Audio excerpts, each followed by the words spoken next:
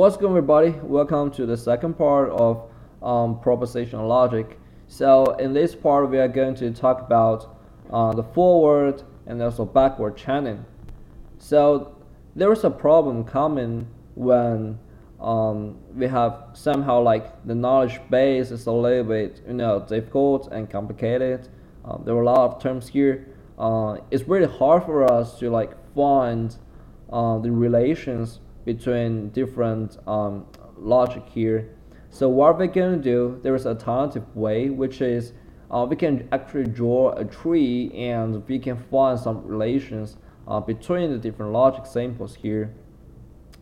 So first we just draw this tree according to our knowledge base. So uh, I can just make some example. For example, if P then Q, uh, which is here, and uh, L and M then if L and M, then P. So here, um, please pay attention to some um, the notations here. So if you have a arrow here and you draw a a line like this, then this is actually an sign. Um, it's also like notified um, in in the in the tree. If there is nothing here, then it's or. So just pay attention to that. So in this lecture, I'm just going to use the example in our lecture notes. So here the question we have knowledge base and it asks uh, whether the Q is true or false. So the difference between the forward and backward chaining is for forward chaining we actually come um, from our knowledge base and to derive our target. As for um, backward chaining, that is we start from our um, question, our target, and backwards to find out uh, whether the conditions are satisfied or not in order to make our question true. So here, first of all, it just um, since here, as you can see, there are actually two logic, single logic here, they are true. So we just draw uh, the circle um, of these two logic. And you may ask, um, what does these numbers mean? So the numbers here actually meaning um, how many unknown uh, logic that we have at a node. So for example, this node here actually have two different um, logic nodes. So uh, currently we just circle it, but we haven't like implement the the truth or false false um, value to the node, so we just don't know. So that is 2 here. Um, the same for the logic uh, for the point here, since we get it, it has a point P and A unknown, so this point here uh, is 2.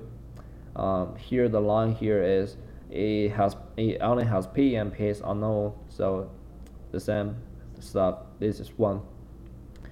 So first of all, we are going to implement A. So as you can see, if we let A um, become true, then this value and this value decrease to 1. Um, so for this point here, it only has one unknown node, which is P, and for the point here is B. Um, however, we will only like move forward when the node here decrease to 0. So here, as we can see, it's just 1 and 2 here, so we just do nothing. And next, uh, we will also implement B here. And when we know both A and B are true here, uh, we can actually denote that uh, the value for the L here, L here is true as well. And uh, we decrease uh, this node from 1 to 0 since both of these nodes are known as 1 or say true.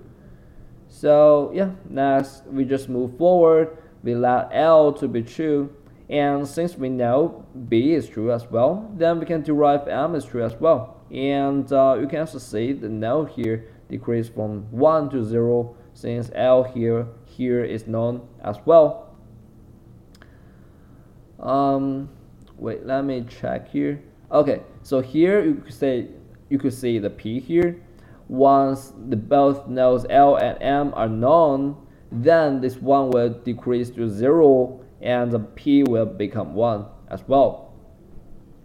And uh, when p is known, So you may ask, okay, whether we should go um, this way to L or this way to Q.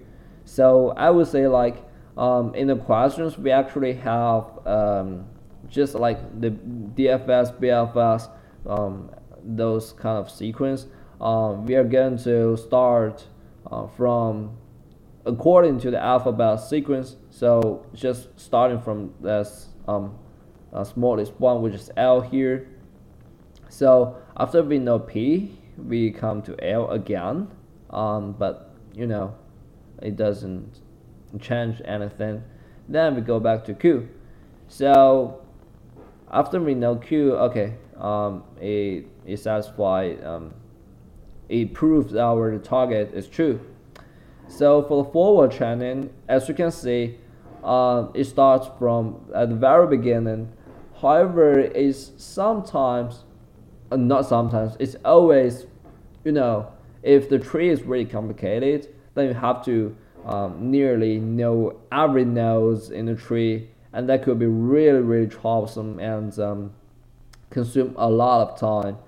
So this is why we use the backward chaining. So backward chaining is much more um, faster as it doesn't like need to prove everything. It's just like, uh, okay, I want to prove this, and uh, I need to know something, whether that's satisfied or not, to prove it, to prove the target.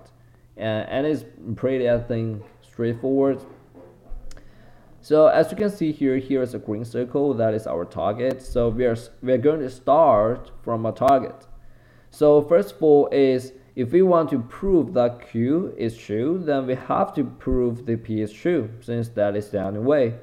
However, when we want to prove P is true, we actually have um, two different ways. One is uh, from L.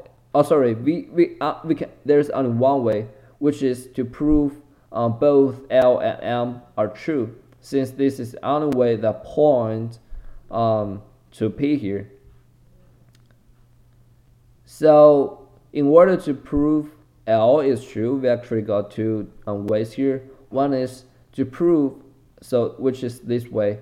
So this way is both A and B are true. Um, and uh, the second way is P and A are true. However, P here we don't we currently don't know yet, so we can just go this way. And this way we know since uh, by given the knowledge base, the both know A and B are true, so we know L is true. And uh, in order to prove, so as you can see, the circle here becomes solid inside. Uh, and in order to prove M is true, uh, there's only way which is to prove L and B to be true. Um, so L is true uh, as we proved before. So B is true as well uh, as given in the knowledge base. So we can prove M is true. So yeah, we have done that. So by given L and M true is are true, we can know that P is true here, and by giving P is true, then Q is true. So quite straightforward. Um, so for backward chaining, um, it's faster and uh, easier. So I believe, like in exams, normally, um, it, it won't just give you a tree. It will like give you this knowledge base and ask you to analyze or to prove um, the query um, by using a forward or backward chaining. So you have to draw, you have to draw the, uh, the tree yourself. So just make this annotation clearly um, to make sure that you understand the concept. So this the the chan the forward backward chaining I believe is quite straightforward. Um, so in the next lecture, we're going to talk about the first logic, um, set, sorry, uh, first order logic. Um, so thank you very much for watching and uh, hope to see you in the next tutorial.